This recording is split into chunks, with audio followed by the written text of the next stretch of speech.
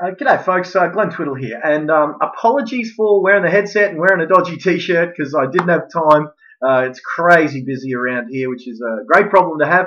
But what it means is you get unprofessional Glenn in a T-shirt. But I just wanted to weigh in on uh, Todd Matheson. Look, this is an age-old debate, and you know what? No one is right and no one is wrong because you can make both methods of sale work. But I did just want to have a talk about the debate auction versus private treaty. Uh, this is my two bobs. Now, first off, I'm going to play auction advocate for a moment. I'm just going to say, um, in a rising market, I've never yet seen a private treaty, even when it's under multiple offers and under um, under uh, competition, like I'm going to describe in a moment, which is why I favour private treaty. But even under the best private treaty conditions, very rarely will you have a property that, with a price on it that was say 900,000 that's going to go through competitive bidding uh, for 1.2, 1.3 million. And that's certainly what we saw. In fact, that particular case study, an extra 400 odd thousand, was achieved by a colleague of mine some years ago. They were expecting, they had a reserve of 900, ended up getting 1.3 million. That's not going to happen if you've got a property listed at 900,000, even if you've got 10 offers doing multiple offers. You're not going to get an extra $400,000 on an eight or $900,000 property. So in a market like that, with a property like that, um, for whatever reason, auction is never going to be beaten by private treaty. But that being said, in most other markets, I'm going to say that I'm a big fan of private treaty for really a, bunch of reasons. And, and all the auction people, the pro auction people are going to be saying, oh, this old chestnut. But it's a biggie and it's valid. And, um, you know, the, the buyer number one who buys the property has to pay because he's bidding against a known quantity and that there's someone on the other side of the room with their hand up he pays $100 more than buyer number two and he buys the property. And what if his capacity and desire to buy the property meant there was more money in him? Now, I understand that in the hands of a good uh, negotiating auctioneer, uh, like, you know, again, Dane Atherton and Jason Andrew and uh, uh, Phil Parker, those guys are geniuses. You know, so that's the first thing. If you're going to be auctioning, be better get one of those genius negotiators on your side because they're worth their weight in gold. You can get them for four or five hundred dollars um, just the best four or five hundred dollars you'll spend in your marketing campaign. But um, but but so that's number one is that uh, buyer A pays thousand dollars more than buyer B and he wins the property when buyer A might have had another ten or twenty or thirty grand in them if they were bidding against an unknown quantity. See, here's my thing with private treaty. I still like many of the elements of the auction method of sale. I love the fact that we set a deadline.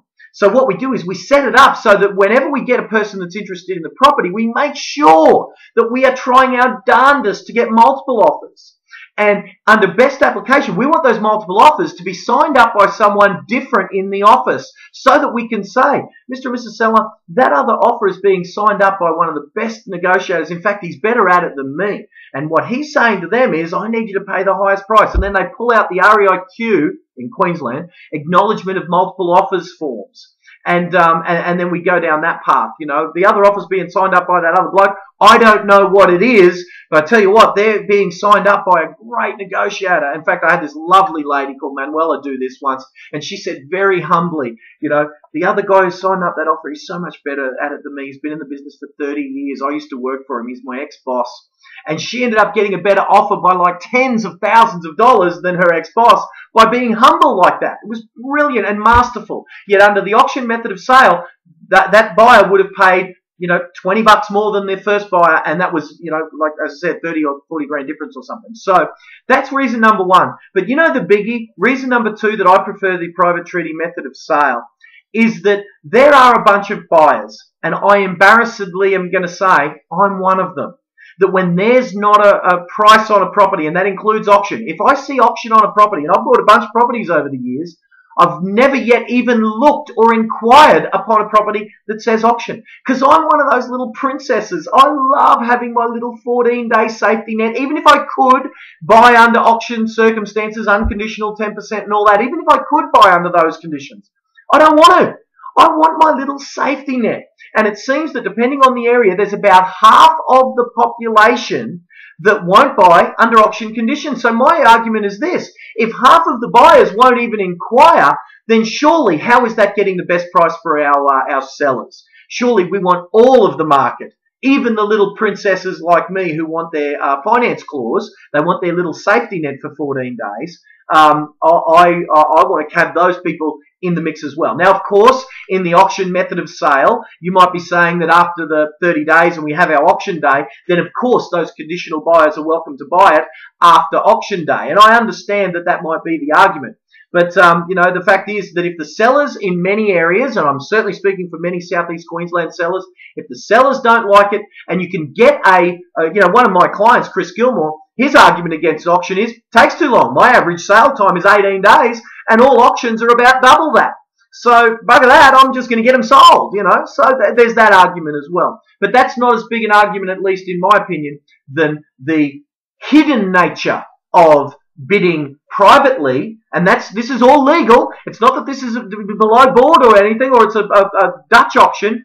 These met, the method of of, um, of doing multiple offers and keeping the bids uh, quiet and and uh, confidential from the parties is the way the REIQ's legal team's best practice advise us to do it.